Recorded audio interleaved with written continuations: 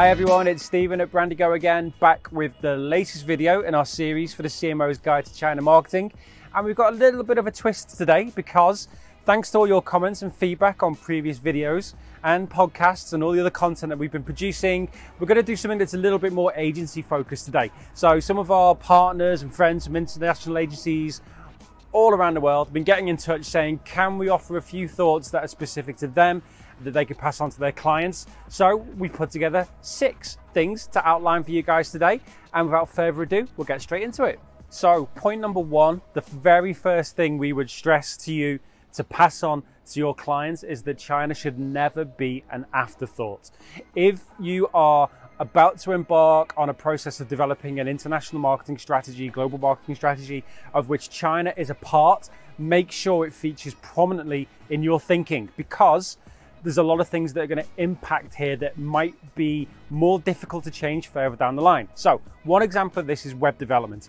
If part of your campaign, part of your project involves a website, if you build it and then say, oh, hey, this needs to be used in China, there's lots of things that might have come up that you're not going to be able to fix very easily.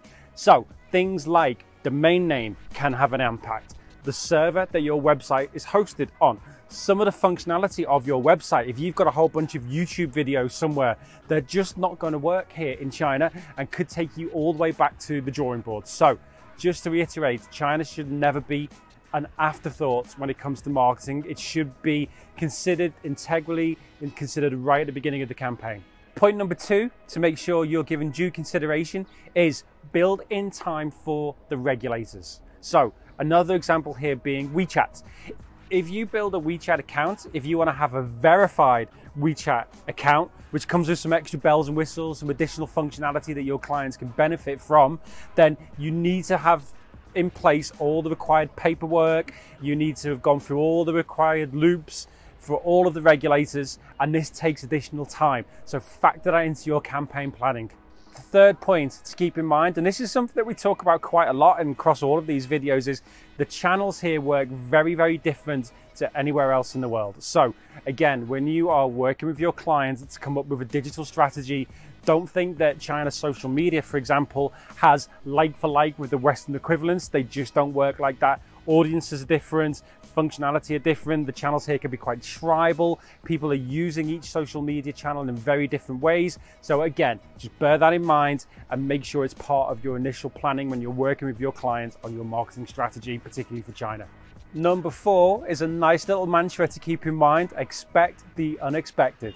China is incredibly dynamic. Things move really quickly here.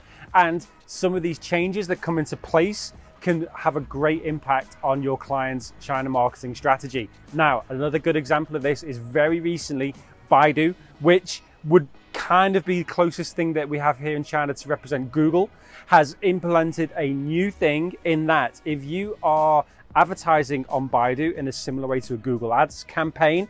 You can't actually, unless you're a Fortune 500 company or a very prominent company that's favored by various different parties, you can't actually drive traffic to your own website in the first step. You actually have, have to have a landing page set up within the Baidu ecosystem.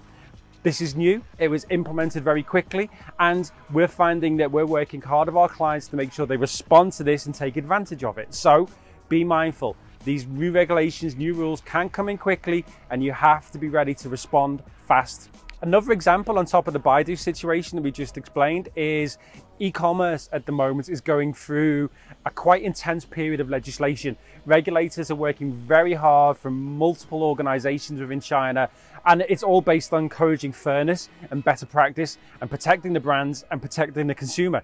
All of this is a good thing, but it means that that e-commerce and the platforms are evolving very quickly. And if your client is relying on that, you need to prepare them to be able to react quickly and accordingly. Number five, think of the messaging. Again, something that we talk about regularly when we talk about localization, but for your clients, they need to be mindful that what is effective messaging in other territories around the world is not necessarily going to be effective here. One of the great campaigns that we worked on was with the beer brand Goose Island. Now, Goose Island is an incredibly successful brand. It's now owned by AB InBev, and we worked with them on their China market launch. Their messaging and branding, pretty much everywhere else in the world, was based on a very much a kind of hipster aesthetic, a hipster vibe, but a hipster and what that is recognized as here in China is very, very differently. So that strategy wasn't going to work here. Now, there was a fantastic client, and we were able to work with them to adapt that, think more of an artistic, musician led vibe, more events and KOL driven, and that really helped us to amend their messaging. The client was happy and it led to a far more effective China marketing campaign than just trying to crowbar in international messaging that we knew wasn't going to cut it here. And last, and by no means least, number six, budget. China is not cheap anymore. Those days are long gone. You're now looking at budgets for most aspects of marketing that are comparable with Europe and the US uh, in terms of agencies that you might partner with here and the costs that they're working with. Shanghai is now one of the most, if not the most expensive city in the world to live in, and all of the overheads and costs that come with that need to be reflected in the budget that you're allocating or your, your client is allocating for successful marketing in China. Do not expect a cheap and cheerful campaign. Do not expect to be able to cut corners and be able to cut price. It, it doesn't work like that anymore. Be realistic with your budget. So there we go. That's our six things that we think our agency friends and partners should be mindful when working with clients and talking about China. We're always here and we're always available. and Happy to offer our insight. If there's anything you think we've missed, if you've got any specific questions to anything in this video or any of our previous videos, just leave a comment down below or contact us via social media. We'll have all of the addresses that you can reach us at at the end of the video. There's actually a podcast that accompanies this video as well that you could be able to find that on our website. Just go to the drop down box that has blogs, ebooks, and podcasts, and you'll find our agency focused podcast right there. And check out our brand new ebooks on the website too, which you'll see at www.brandigo.com. Once again, thanks for viewing. See you next time.